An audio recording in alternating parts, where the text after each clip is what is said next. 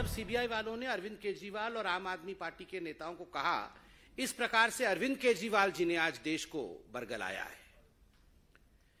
अगर सही मायने में कहा जाए तो ये अरविंद केजरीवाल जी की आम आदमी पार्टी का जो ड्रामा चल रहा है this is nothing but operation theatrics operation drama और याद करिए, हर बड़े भ्रष्टाचारी नेता के गिरफ्तारी से पहले इसी प्रकार का ऑपरेशन ड्रामा चलता है। सत्येंद्र जैन जी जब गिरफ़्तार होने वाले थे, भ्रष्टाचार में आकंठ डूबे हुए थे सत्येंद्र जैन, ये हर कोई जानता था। जब उनकी जाँच चल रही थी तो ठीक इसी प्रकार की प्रक्रिया आम आदमी पार्टी कर रही थी, ठीक इसी प्रकार का भाषण अरविंद केजरीवाल दे रहे थे। वो कह रहे थे सत्येंद्र जैन तो राजा हरिश्चंद्र है। इनको तो पद्म विभूषण मिलना चाहिए। इनसे ज़्यादा कट्टर, ईमानदार तो कोई मंत्री है नहीं। ये सीबीआई ये ईडी ये तो गलत काम कर रहे हैं।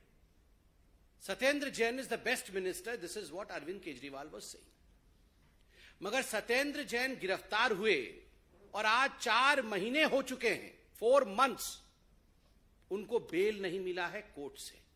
क्यों नहीं मिला है? ये जो भाषण अरविंद केजरीवाल जी करते हैं विधानसभा में खड़े होकर, अगर उस भाषण में तथ्य होता तो अभी तक तो सत्येंद्र जैन जी को कितनी बार बेल हो चुका होता। मेरिट्स नहीं है। आर्ग्यूमेंट में मेरिट्स नहीं है और करप्शन किया है।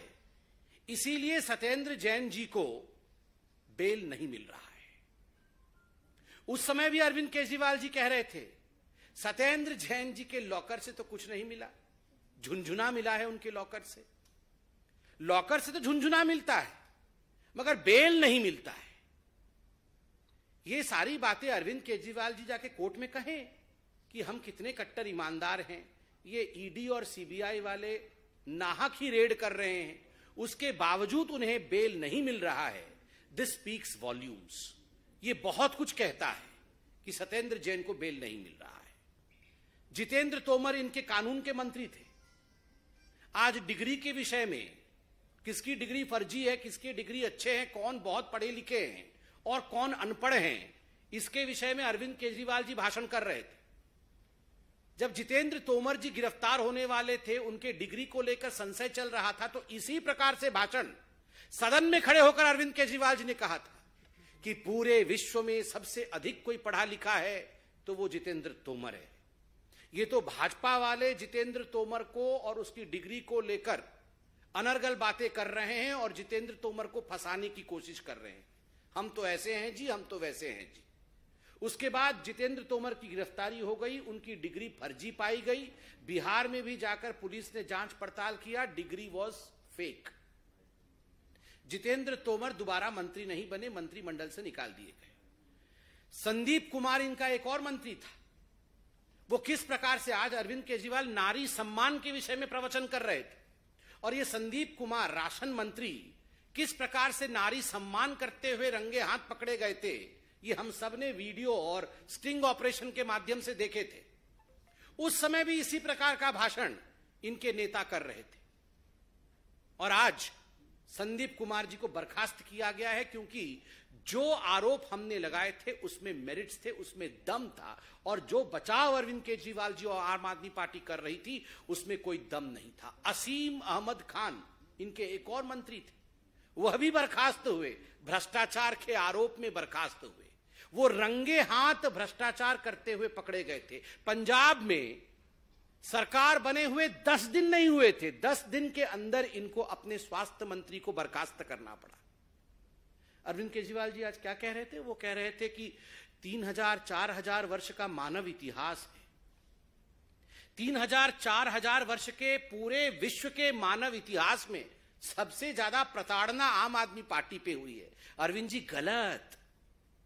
तीन हज़ार चार हज़ार वर्ष की ये जो मानव इतिहास है, उस मानव इतिहास में सबसे बड़ी यूटर्न पलटू पार्टी कोई है तो ये अरविंद केजरीवाल जी आपकी पार्टी कट्टर ईमानदार पार्टी बनेंगे, ये कह के निकलने वाले चंद हफ्तों के अंदर किस प्रकार से कट्टर भ्रष्टाचारी बन गए इसका अगर जीता जागता उदा, उदाहरण पूरे विश्व के तीन चार हज़ार वर्षों के मानव इतिहास में देखना है तो वो अरविंद केजरीवाल जी की आम आदमी पार्टी है।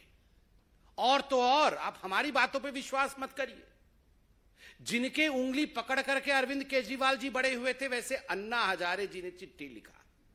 और अरविंद केजरीवाल जी के नियत पर उनके इंटेंशंस पर सवाल खड़े किए हैं अन्ना हजारे ने। अरविंद जी, आपने बहुत लंबा भाषण दिया। जनता भी हर दिन देख रही है। पीसी, काउंटर पीसी, प्रेस वार्ता, काउंटर प्रेस वार्ता, हम बहुत कुछ बोलते हैं। आप बहुत कुछ बोलते हैं। मगर जो हम प्रश्न पूछ रहे हैं, उसका उत्तर आप नहीं देते हैं। अरविंद जी डे वन से जो हमारे प्रश्न थे, आज भी वही प्रश्न है। प्रश्न दिल्ली के आबकारी नीति को लेकर, प्रश्न दिल्ली के शराब नीति को लेकर थे। क्या प्रश्न थे, अरविंद जी?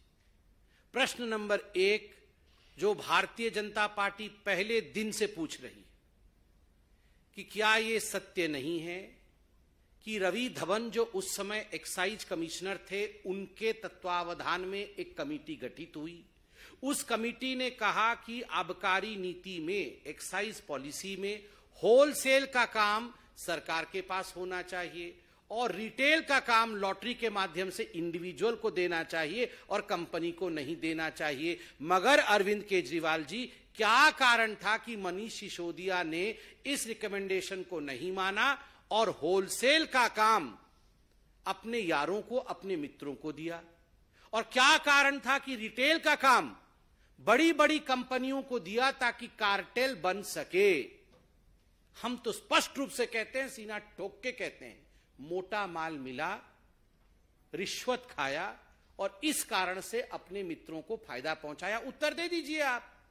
दूसरा, बड़ा स्पष्ट प्रश्न है। क्या यह एक्साइज पॉलिसी में कानून नहीं है कि जो मैन्युफैक्चरर होगा, जो उत्पादक होगा उसको रिटेल के बिज़नेस में जाना ही नहीं है, उसको रिटेल का ठेका आप नहीं दे सकते हैं, मगर इसके बावजूद आपने ठेकेदारों को चुना गलत तरीके से और जो मैन्युफैक्चरर्स थे, उनसे मोटा कमीशन खा के आपने उनको रिटेलर भी बनाया, अर्थात उनको रिटेल का काम भी दिया। और तो और, मैं दो चिट्ठियाँ आज दिखाता हूँ। ये चिट्ठियाँ कोई आज की चिट्ठी नहीं है। ये दोनों चिट्ठी विगत वर्ष की हैं 2021 के अक्टूबर नवंबर महीने की। जिस समय ये सारे की सारी policy was taking a shape जिस समय ये पॉलिसी आप फ्लोट कर रहे थे और टेंडर इनवाइट किए गए थे टेंडर डाले गए थे, उस समय की ये चिट्ठी ये चिट्ठी क्या है? अरविंद जी, ये चिट्ठी कंप्लेंट्स है। किसके कंप्लेंट है? लोगों ने कंप्लेंट किया। एक्साइज विभाग को कंप्लेंट किया कि फलानी फलानी कंपनी ब्लैक लिस्टेड है।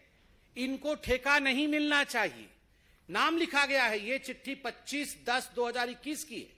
और इसमें स्पष्ट रूप से Indo spirit beverage private limited का नाम है और उनका जो रिटेल बॉडी है एमएस खाओ गली रेस्टोरेंट प्राइवेट लिमिटेड का नाम है। चिट्ठी बड़ी है। आपके लिए मैं पब्लिक डोमेन में इसे डाल दूँगा। आप अध्ययन कर लीजिएगा, अरविंद जी। मगर मोटा मोटी इस चिट्ठी में एक्साइज विभाग ने उत्तर मांगा है कि ये बेनियम काम आपकी सरकार क्यों कर रही है। इस बेनियम काम को बंद करना चाहिए। आप इन ब्लैकलिस्टेड कंपनी को ठेका कैसे दे रहे हैं? इसमें भी एक एनरिच कंपनी नामक कंपनी, उसमें भी बड़े स्पष्ट रूप से लिखा गया है कि किस प्रकार से आप बेनियम भाव से, बेनियम रूप से नियमों को ताक में रख के आप उन कंपनियों को ठेका दे रहे हैं जिन कंपनियों को देना नहीं चाहिए। मगर इसके बावजूद केजरीवाल जी, मनीष सिसोदिया जी, हम जानना चाहते हैं आपने नियमों का उल्लंघन क्यों किया? कैसे किया?